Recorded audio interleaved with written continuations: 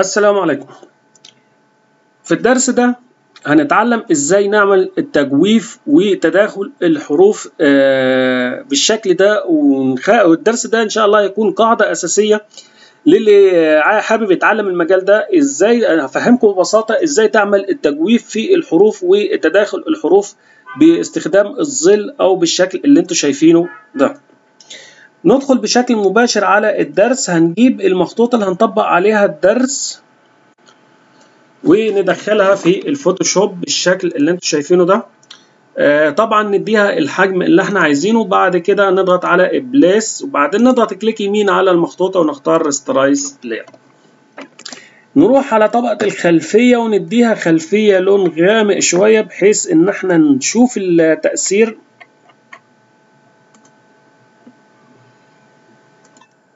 بعد كده نروح على المخطوطة اللي إحنا نزلناها ونديها التأثير اللي أنا عايز اديهولها الألوان أو ال texture أو أي تأثير أنا عايز أديه للمخطوطة. وليكن أنا هديها آه اللون ده علشان يظهر معانا بشكل واضح.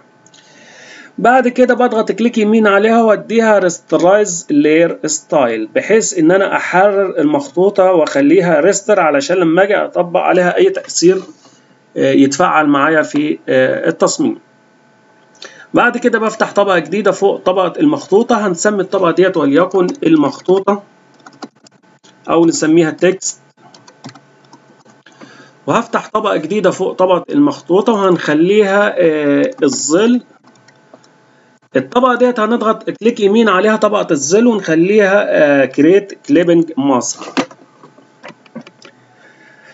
هنروح على أداة البرش وطبعا نحدد فرشة ناعمة ونجهزها. اللون اللي أنا هعمل بيه الظل إما إن أنا أختار اللون الأسود أو إن أنا أروح على الكلمة اللي أنا عايز أطبق على اللون آخد اللون بتاعها كده وليكن ده أنا خدت اللون الأبيض وبعدين بضغط عليه دبل كليك وباخد الدرجة غامقة من اللون ده وليكن إن أنا خدت الدرجة الرصاصي ديت وبضغط okay. بعد كده بروح أعمل zoom. نبدأ بالأول بحرف الألف. أنا عندي حرف الألف بالشكل ده. حرف الألف أنا بعمل فيها تجويف في منطقة واحدة فقط هي في المنطقة اللي في الأعلى. فأنا باجي بستخدم أداة ال pen tool طبعا أنا واقف على طبقة الظل. بضغط هنا وبضغط هنا كده. وبسحب بخلي اتجاه ال line أو ال guide اللي أنا خدته ماشي مع اتجاه الألف بالشكل ده. باجي هنا بسيب إيدي من على الماوس وباجي في المنطقة ديت وأنا في الداخل كده وبسحب. بخلي ال line ما يطلعش بره الحرف ولا يكون داخل الحرف بشكل كبير. وبعدين بكمل برسم الشكل ده. بعد ما رسمت بضغط على control و enter بيتحدد معايا بالشكل ده بروح أجيب ال brush طبعا أكبر واصغر من حرف الجيم والدال بكبرها شوية. وبرسم بطرف ال brush مش بالمنتصف لأ بطرف الفرشة أو بطرف ال brush بالشكل ده. وبعدين بضغط على control D ألغي التحديد. ظهر عندي تجويف حاد من هنا شوية بجيب أداة الممحاة وبختار كمان فرشة ناعمة ال hardness فيها صفر وبمسح بموت الجزء ده بالشكل. حرف الألف أنا بعمل فيه الجزء ده فقط لا غير. ممكن عندي الظل لو زايد شوية بقلل الأوباسيتي على الطبقه بالكامل بالشكل ده. نيجي لعملية بقى الحروف الباقية. نيجي لحرف الميم نفهم فكرة حرف الميم. طبعا أنا بعمل التداخل ده بناء عن إيه؟ أو الشكل ده بناء عن إيه أنا باجي للجزء اللي فيه دوران فيه كيرف وبعمل الظل فيه. نفهم الفكرة دي إزاي؟ ولنتخيل إن أنت هتجيب ورقة وتحاول تعمل لها تعملها بشكل حرف الميم. هتعمل الورقة بشكل طولي كده وبعدين هتيجي للجزء ده هتتني الورقة كده من فوق لتحت فيبقى الظل من تحت من هنا. هتيجي هنا هتتني الورقة ديت بشكل زاوية كده قايمة فيبقى الظل في المنطقة ديت. هترجع تتني الورقة برضو تحت كده هيبقى الظل في المنطقة ديت. تيجي تاخد بقى من الأسفل وتنزل فيبقى الظل في المنطقة دي. تعالوا نفهمها بشكل أوضح. المنطقة ديت أنا ممكن أعمل الظل فيها من فوق ومن تحت. إزاي؟ ممكن أعمل الظل بالشكل ده.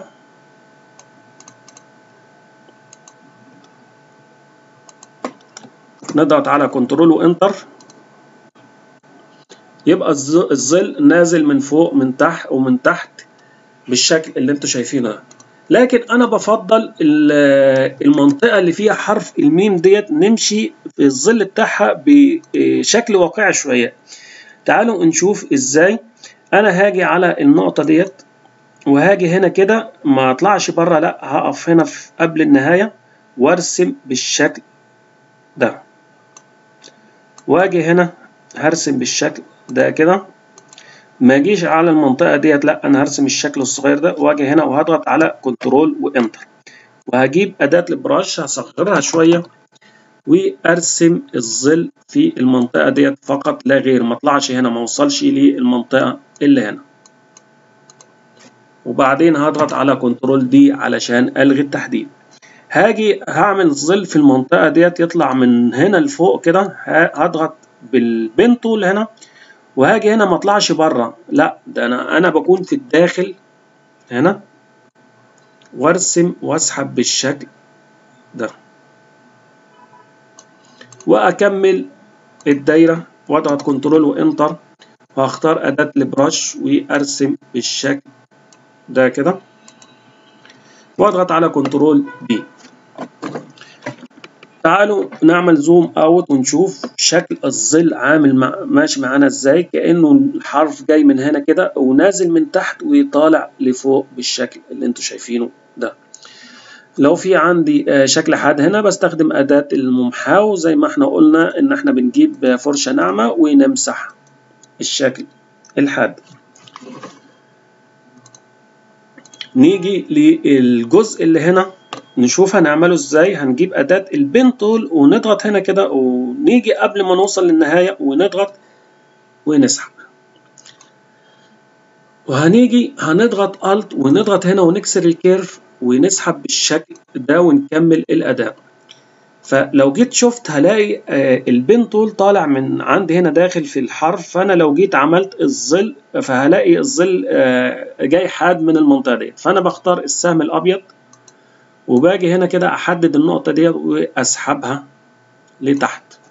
بعد كده بضغط control و enter الوضع معايا بقى تمام. بجيب أداة ال brush وبسحب بالشكل ده. طبعا بسن ال brush أو بالطرف بتاع الفرشة. control و D علشان نلغي التحديد و control وناقص وتعالوا شوفوا شكل الظل بقى عامل معايا إزاي. طبعا أنا عامل هنا clipping mask بحيث إن الظل يتطبق على الكلمة بالظبط. أنا لو مش عامل clipping mask هلاقي الظل متطبق على الكلمة والخلفية. لكن أنا بقى اضغط click يمين وبختار clipping mask بحيث يتطبق على الكلمة أو المخطوطة. فقط لا غير. تعالوا نعمل الحتة المعقدة ديت شوية. حرف الحاء متداخل مع حرف الألف. حرف الحاء بحد ذاته بيتعمل إزاي؟ طبعا حرف الحاء جاي كده كده كده. زي ما أنتم شايفين بالماوس باجي من هنا واطلع كده واجي كده. طيب أنا هنا ممكن أخلي الجزء ده تحت وممكن أخليه فوق حسب راحتي. تعالوا نخليه تحت أسهل.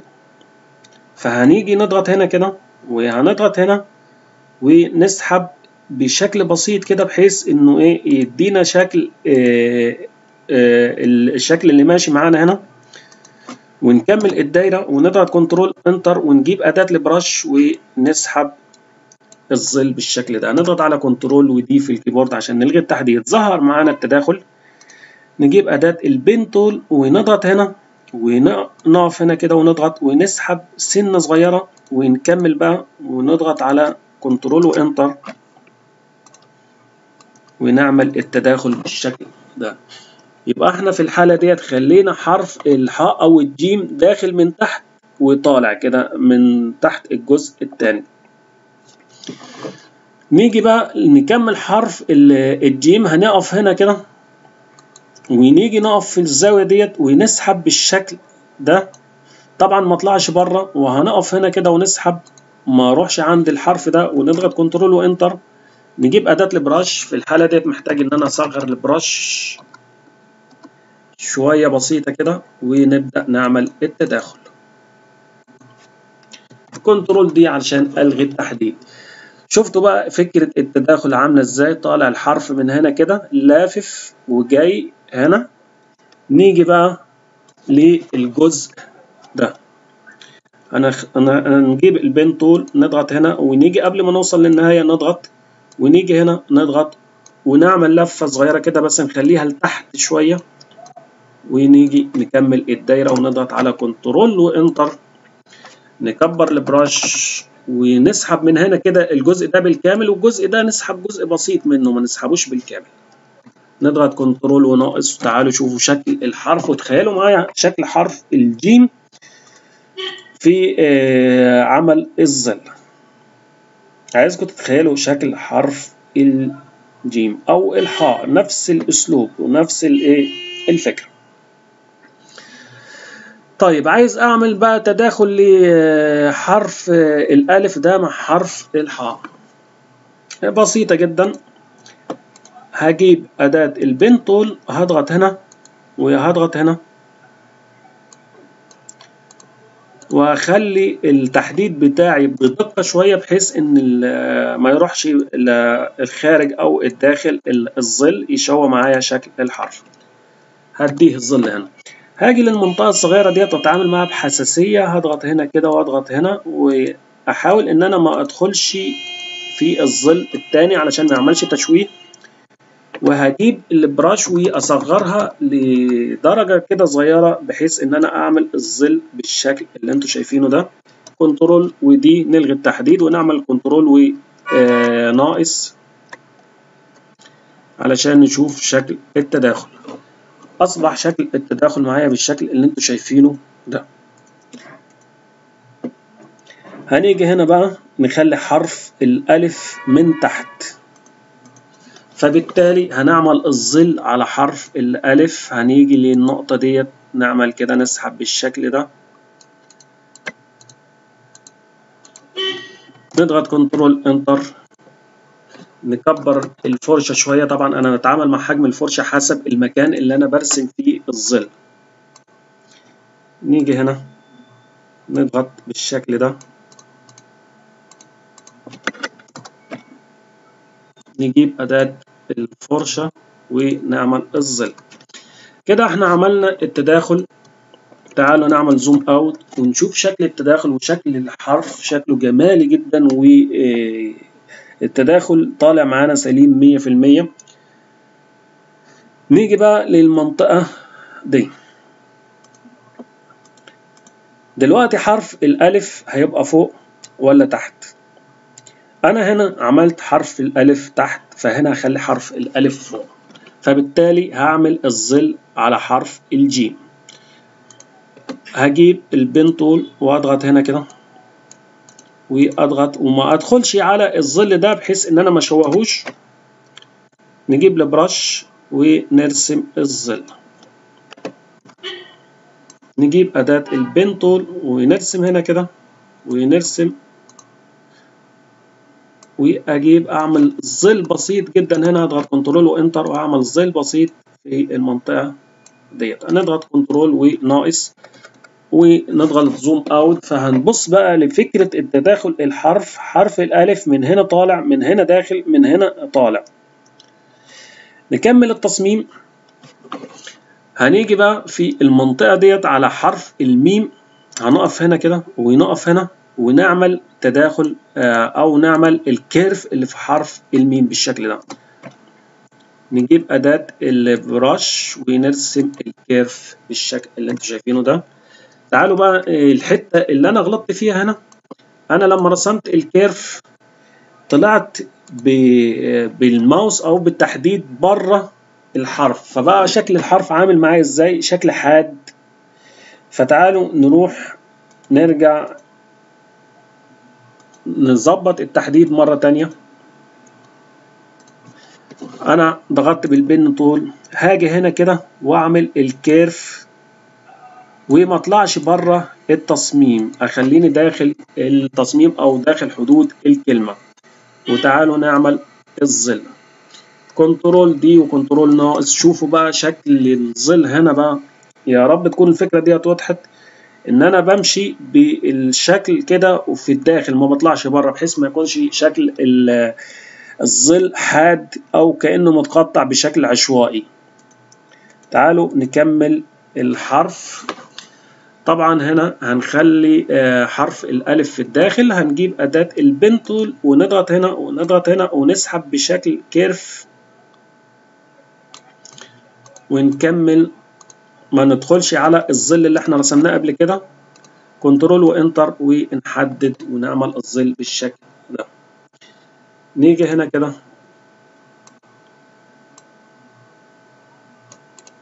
ونعمل التداخل. control D علشان ألغي التحديد. طب أنا عايز أعمل كمان curve أو الدوران بتاع حرف الميم. فبقف بال pen tool هنا وهرسم هنا وهرسم في النقطة الصغيرة ديت. يعني ما اجيبش للآخر هنا لا ده أنا برسم في النقطة ديت وبرسم كده. بعمل curve بسيط. بضغط alt وأضغط هنا. وبالشكل ده برسم الجزء الصغير ده. وبجيب أداة ال brush وبعمل في الجزء اللي تحت ده فقط لا غير. ما بعملش الظل هنا لا هنا كده فقط. control D عندي الجزء ده حاد شوية. بجيب أداة الممحاة وبحاول أموت بس أخلي بالي إن أنا ما موتش الجزء الثاني يعني أنا بصغر الممحاه شوية وبموت الجزء ده فقط لا غير. تعالوا نضغط control وناقص ونشوف شكل الحرف عامل إزاي. نيجي لحرف اللام بكل أنواعه. أنا باجي من هنا كده بضغط في المنطقة ديت واجي هنا واضغط واسحب بالشكل ده. وأكمل الكيرف وبجيب أداة البرش. في عندي جزء حاد فبجيب أداة الممحاة. أكبرها شوية وأمسح الجزء الحاد. وتعالوا نشوف شكل حرف اللام طالع معايا إزاي. حرف الياء. هاجي على حرف الياء. طبعا أنا ممكن أطلع لفوق وأنزل لتحت لكن حرف الياء إن أنا بفضل بمشي مع الكيرف لتحت. فأنا بضغط هنا وبسحب بالشكل ده. يعني أعمل curve بتخيل شكل الحرف ماشي إزاي؟ بخليه ماشي بشكل كده متناسق مع الحرف آه بتاعي. بضغط control و enter طبعا آه انت هتتعلموا الشغل ده وتكونوا محترفين فيه مع التدريب انك تشوف شغل كتير وتتدرب على الشغل ده والفكرة دي. بنفس الأسلوب ده وبنفس الفكرة ديت بنكمل باقي الشغل. نيجي للمنطقة ديت. في المنطقة ديت إحنا هنحتار هنخلي الحرف الحاء فوق الألف ولا الألف فوق الحاء؟ لا أنا عندي المنطقة ديت حرف الحاء جزء صغير فأنا بخلي الحاء فوق الألف. فبرسم بالشكل ده كنترول وإنتر وبرسم بالشكل ده. باجي هنا برسم بالشكل ده بمشي مع بتخيل شكل شكل حرف الحاء نهايته عاملة إزاي؟ وبرسم وبعدين بديه الظل. كنترول دي عشان ألغي التحديد وتعالوا شوف شكل الظل وشكل التداخل عامل معايا إزاي. بعد ما أرسم الظل بقدر بقى إن أنا أضيف اللمعات وان أنا أزود الظل شوية.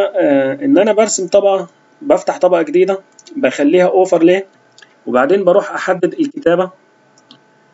بخلي وليكن اللون الأبيض فوق والأسود تحت. بختار اللون الأبيض في البداية وبرسم لمعة في المناطق الداخلية أو الخارجية. يعني أنا بحدد منطقة وأرسم فيها لمعة. فأنا برسم لمعة بالشكل ده في المناطق. بعد كده بخلي اللون الأسود فوق وباجي بقى للمناطق عكس المناطق اللي أنا رسمت فيها اللمعة المناطق اللي فوق مثلا وبرسم فيها الظل بالشكل ده. الظل لو حد شوية بقلل الأوباسيتي. اللون الأسود بيعمل ظل اللون الأبيض بيدي لمعة. طبعا الخطوة ديت اختيارية مش شرط إنك تعملها. أنت مجرد ما عملت التظليل بتاع الحروف وتداخل الحروف خلاص انتهى الأمر. فالخطوة ديت الأخيرة اختيارية فتقدر تعملها أو لا. كنترول دي علشان ألغي التحديد وتعالوا نشوف اللمعة ديت بتفرق معايا في التصميم إزاي. الحاجة التانية الظل في أي وقت إن أنا عايز ألغي ظل من الظل اللي أنا عملته بروح على طبقة الظل وبختار أداة الممحى وبلغي الظل بشكل بسيط. نيجي بقى ل طبعا الفكرة دي أنت بتمشي عليها في كل تصاميمك هي سهلة وبسيطة جدا ما فيش فيها أي مشاكل. نيجي بقى للقواعد والأساسيات الهامة. أول حاجة نختار أداة البرش ونختار لون أحمر علشان نرسم بيه ونشوف. أول حاجة المنطقة ديت من هنا كده لهنا مفيش فيها ظل. لو عملت فيها ظل هيتشوه. في ناس بتيجي تعالوا ناخد مثال بسيط كده. في ناس بتيجي بتعمل مثلا بالبن طول هنا وتيجي تعمل هنا كده وتعمل لي ظل في المنطقة ديت فأنت كده شوهت تعالوا نعمل ظل بسيط بس علشان نشوف كنترول دي كده انت شوهت شكل التصميم بشكل كامل. فالمنطقة ديت انت ما تعملش فيها تصميم. انت ما تعملش فيها ظل. إحنا الظل بنعمله في المنطقة اللي فيها curve أو فيها آه شكل متني من التصميم علشان معظم الناس تفهمني آه كده أنا يعتبر إن أنا تنيت أو عملت curve للحرف. فأنا بعمل الظل في المنطقة ديت. المنطقة ديت ما فيش فيها curve فأنا ما بعملش الظل. لا أنا بعمل الظل في الظل في المنطقة اللي تحت. تاني حاجة حرف الألف أنا بعمل الظل في المنطقة اللي فوق بس. المنطقة اللي تحت ديت من هنا لهنا كده ما فيش فيها ظل. حرف اللام. الحرف ده حرف اللام. الحرف ده أنا لو جيت عملت الظل وحسيت إنه هيتشوه فأنا ما بعملش الظل. باجي هنا كده مثلا وليكن وجيت حاولت أعمل ظل. نختار البرش وجيت عملت الظل. طبعا نزود الأوباستي. وجيت لقيت الظل هيشوه التصميم بلاش منه. فأنا بروح للظل وبمسحه بالخالص وبسيب الحرف بالشكل ده. الحروف اللي هنا أحيانا بنعمل ظل في المنطقة ديت ولكن لو لقيت الظل ده هيشوه التصميم فأنا بلغيه. زي ما أنتم شايفين بعمل ظل في المنطقة ديت. لو لقيت الظل ماشي معايا كويس أوكي تمام مفيش مشكلة. لو لقيت الظل هيشوه التصميم فأنا بلغي الظل. الحاجة الثانية تداخل الحروف بخلي الحرف من هنا مثلا داخل ومن هنا طالع. يعني بخلي الحرف ماشي متناسق معايا مرة داخل مرة طالع بحيث يطلع يديني شكل جمالي. تعالوا نشوف بعض التصاميم ونشوف الأفكار اللي فيها. عندي حرف الراء. أنا عملت الظل في الألف والظل في الجزء اللي فوق والظل عند ال curve حرف الهاء. تعالوا شوف شكل الظل أنا عامله إزاي. حرف القاف نفس النظام. أنا عملت الظل في منطقة ال curve وهنا عملت الظل في منطقة ال curve فقط لا غير. في عندي حاجة مهمة عايز أوضحها هي في حرف السين. تعالوا نجيب حرف السين.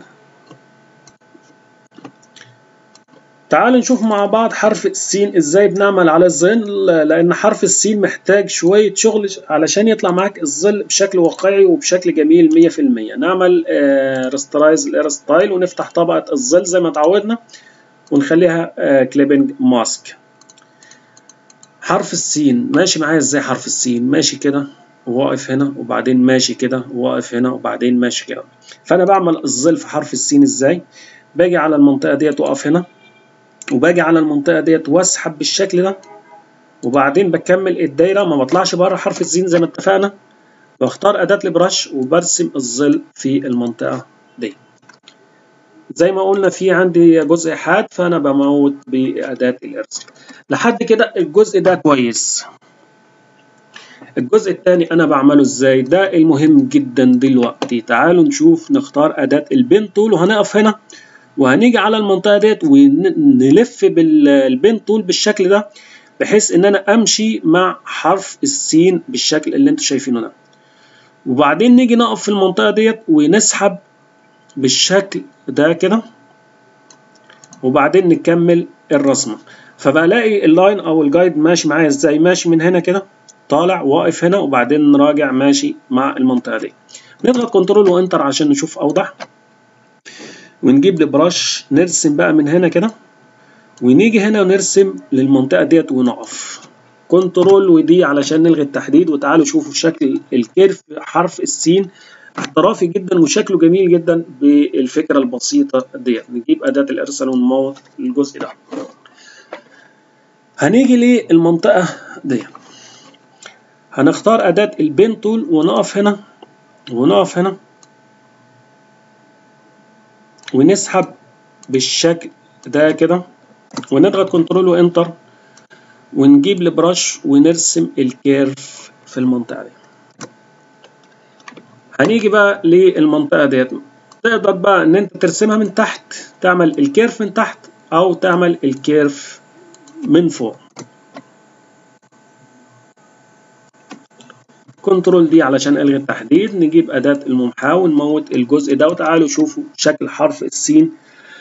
آه عايزكم تشوفوا الفكرة ديت وطبقوها مرة واثنين وثلاثة على حرف السين لأنه ده أهم حرف في عمل الظل وعمل الالتفاف الحرف لأنه فيه شغل جامد شوية ويديك تأثير جامد. تعالوا بقى نشوف بعض التصاميم. نشوف تصميم المهيمن.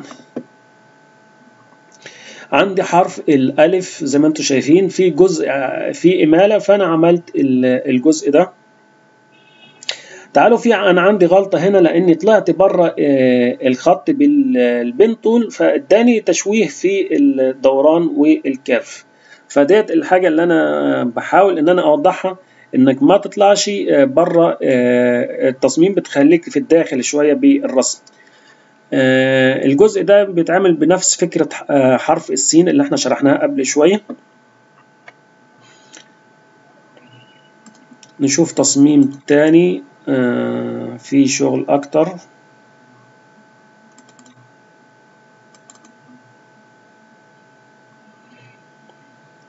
آه في التصميم ده آه طبعا زي ما أنتم شايفين تداخل حرف الواو خلينا حرف الراء طالع منها وعملنا الظل. بالشكل اللي أنتم شايفينه ده وده نفس فكرة حرف السين.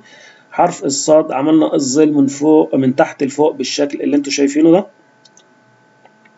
طبعا حرف عملنا الظل بالشكل ده نفس فكرة حرف الألف اللي إحنا شرحناها في الدرس.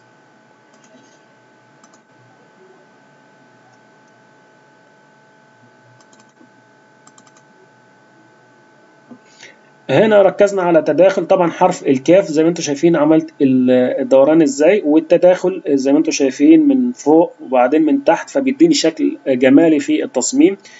حرف الكاف طالع من تحت حرف الألف وبعدين من فوق حرف اللام وبعدين من تحت حرف اللام الثانية حرف الميم فكرة الظل.